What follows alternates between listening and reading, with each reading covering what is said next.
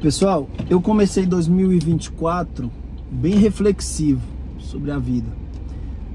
A gente passou a virada na igreja e ali naquele momento de minutos antes de 2024, eu fiz uma reflexão, né? O que eu em, em, em, alguns balanços que eu fiz, eu me fiz a seguinte pergunta: O que, que eu me arrependo de não ter feito? E aí a resposta foi que em 2023 eu não fiz uma viagem com a minha família. E aí eu comecei a pensar na importância de uma viagem para a família e lembrei que os melhores momentos, os melhores registros que eu tenho com a minha família na minha memória são 100% de viagens. E aí eu falei, cara, como isso é importante para criar memórias afetivas e fazer você perceber assim, né? Tá valendo a pena, tá valendo a pena trabalhar, tá valendo a pena viver.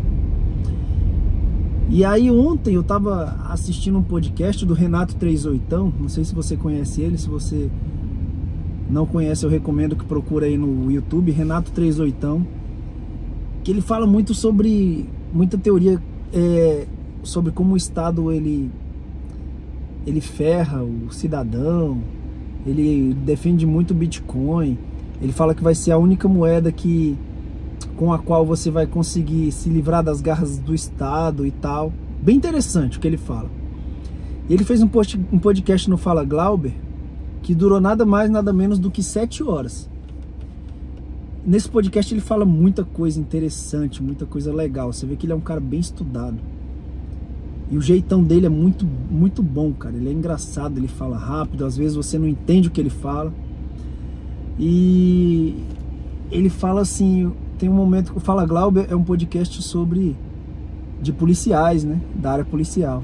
E aí ele entrevista militares, policiais civis, e o Renato 38 é da Polícia Civil. E em um dado momento o Glauber pergunta pro Renato, pede pro Renato falar assim: "Que conselho você dá para quem é polícia?" E aí o Renato fala: "Não morra. Esse é o único conselho que eu te dou." Aí ele complementou explicando. Para o Estado, você é só mais um, você é plenamente substituível. É fácil substituir quando você vira estatística. Para o Estado, quando você leva um tiro e fica, por exemplo, inválido, você vai se tornar um peso para o Estado. Mas tem um lugar onde você é insubstituível. É para os seus filhos, para sua esposa e para sua mãe. Então, cumpra a lei, faça tudo, mas não morra. E aí, mano, quando ele falou isso, eu falei, cara, isso vem to totalmente ao encontro de todas essas, essas reflexões que eu venho fazendo na, na virada do ano até então. E esse convite a cuidar mais da família.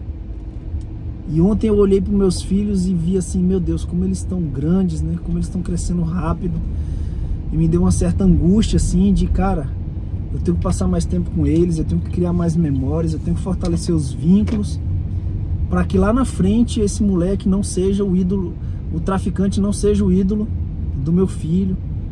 O traficante não faça por ele algo que ele vai sentir vontade de aceitar porque faltou em casa, afeto, amor, direção limites, porque amar também, amar filho também é impor limites, porque eles aprendem com limites. E eu pensei, eu tenho que passar mais tempo com meus filhos. E aí veio toda essa reflexão. E aí, para completar, eu li Eclesiastes 9:9, que eu até comentei aqui já em outro vídeo, que fala assim: Desfrute a vida, desfrute com a mulher da sua mocidade essa vida sem sentido. É algo nesse sentido assim. E esse texto me chamou, me saltou tanto aos olhos.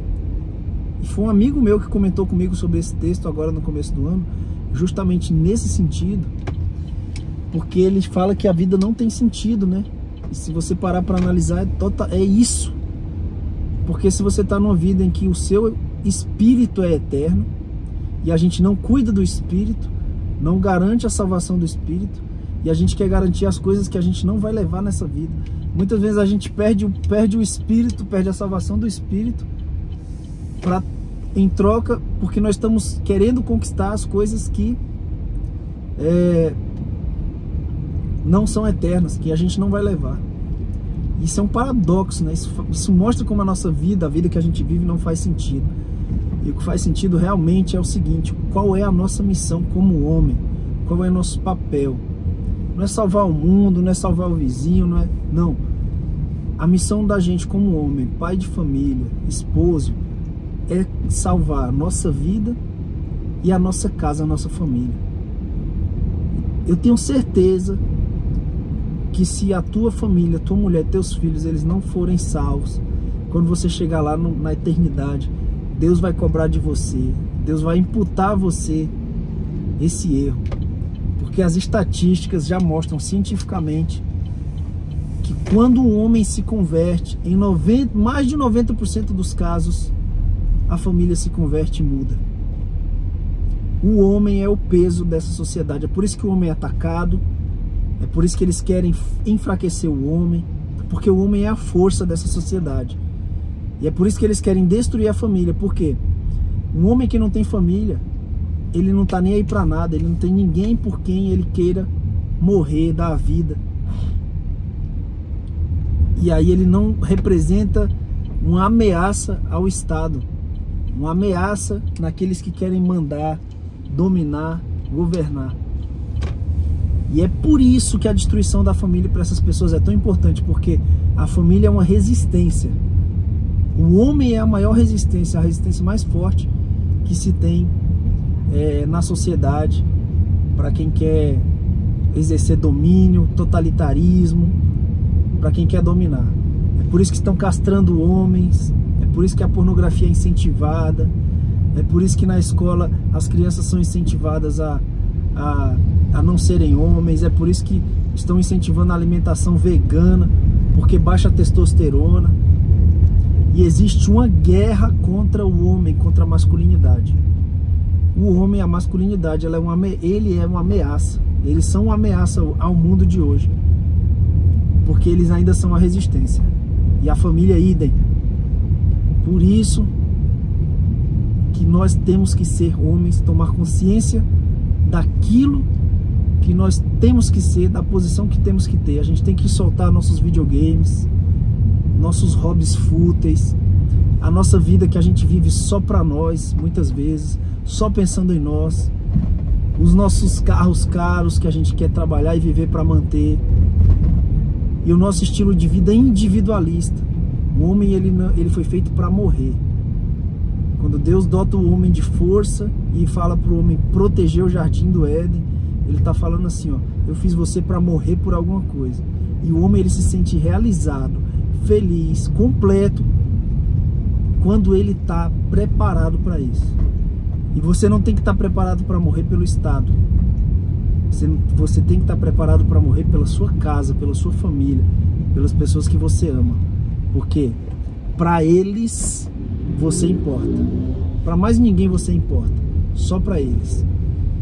E aí tudo isso foi muito forte no meu coração. Por isso que eu decidi compartilhar aqui nesse vídeo, nesse canal aqui, que nem é tão assistido assim, mas se uma pessoa só assistir esse vídeo e for impactada e começar a pensar mais na família, em Deus, no propósito de ser homem, se uma só pessoa pensar nessas coisas, eu vou ficar extremamente feliz e satisfeito e sério mesmo, eu vou me sentir com dever cumprido. Deus te abençoe.